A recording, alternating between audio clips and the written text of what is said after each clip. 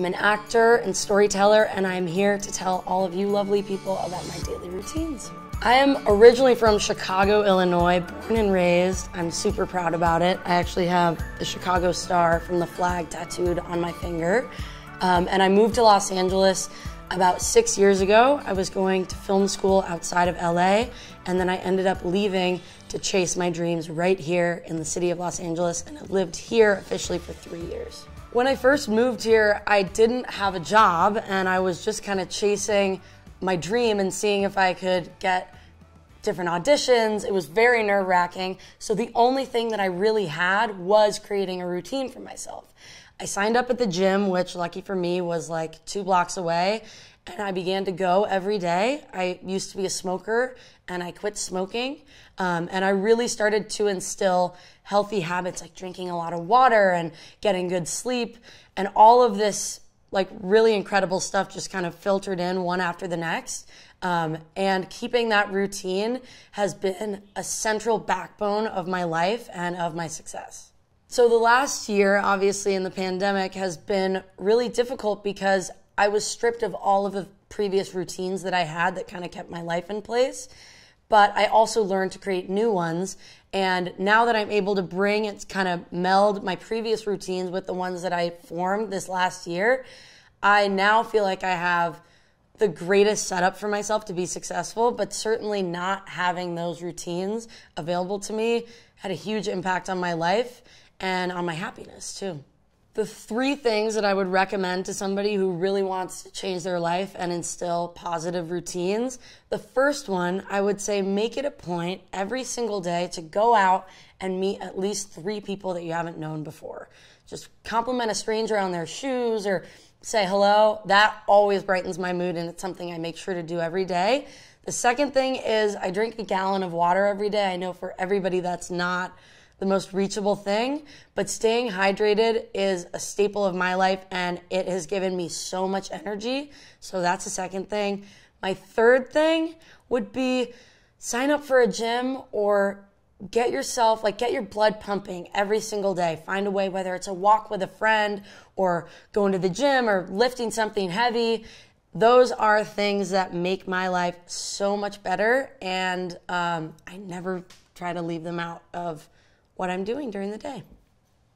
It's my belief about life that the first thing you put into your body at the start of the day and the last thing that you put into your body at the end of the day is sort of what determines how you sleep and how you wake up and face the day. So I'd love to tell you about my nighttime routine. So a staple product in my nighttime routine is MaryRuth's Liquid Nighttime Multi Mineral.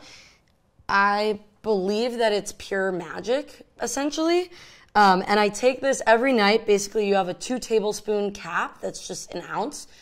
I don't even take it with any food or water, and I take it like 30 minutes before I go to bed. Basically, it just helps you sleep so deeply.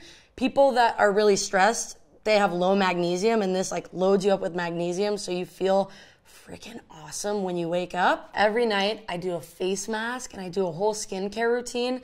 Then I take my MaryRuth's products. Sometimes I pop on a record and just relax to a few songs.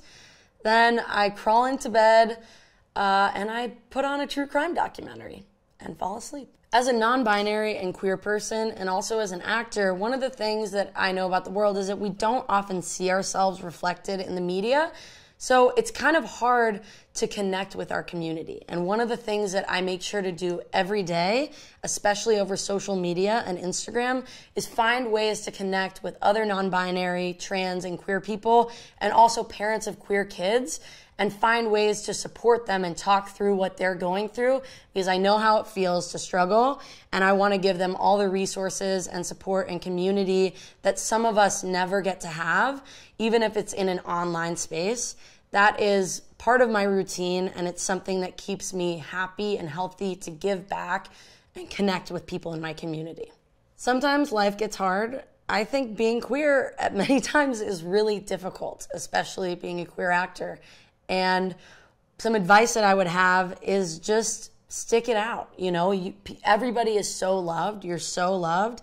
And I always try to think of the concept of like, imagine how many people you're gonna make laugh in the future. Imagine how many people are gonna love you that you haven't even met yet, that you can't conceive of.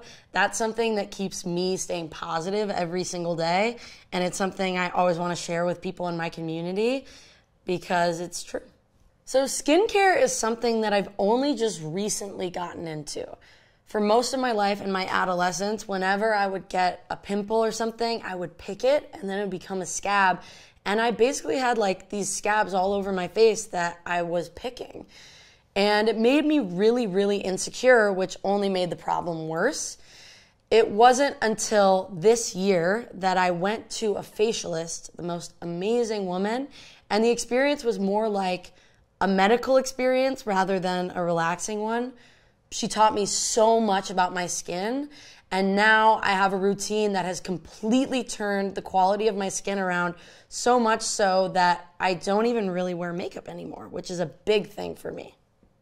When I wake up, the thing that's most exciting for me about the day is actually that I get to start the day with washing my face. It's pretty much the best feeling ever. So I first use this cleanser. This cleanser is like a miracle, basically. Um, it makes my skin so clean and so fresh. Then I put on an exfoliator, which is just like an incredible scrub. And something cool about this particular exfoliator is it's actually created so that the little things that scrub your face are perfect circles. So they never break your skin or harm your skin. They just really get the dead skin off. Then I get a nice cotton pad and put toner all over my skin, and I get like this really tightening feeling. My face feels like new skin, basically. Then I have an awesome serum that I put on that smells amazing and it feels incredible. And then I just put on a moisturizer and maybe a sunscreen if I'm gonna go outside. And I've got a nice dewy glow. And I look in the mirror and pretty much feel awesome. And it's a great way to start the day.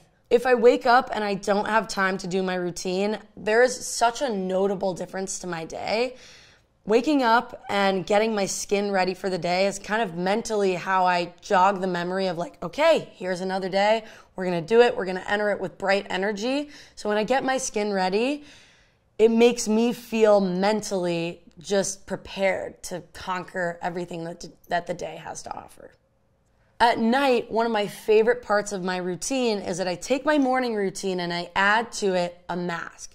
So one night I do a really nourishing, brightening mask, and then the next night I do like an active mask where it kind of like takes out all the toxins.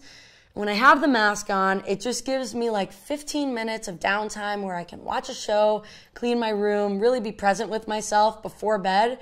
And then when I wake up, my skin looks so amazing. Humble brag. I'm a big believer that it's not necessarily like the products that you're buying, it's how it makes you feel. So I've found products that work for me and for my skin, but I think the key to my skin success has absolutely been the masks. If you can't go out and buy all of these products, I would say definitely get a mask. Do it every night. For me, that's been the key to my skin success.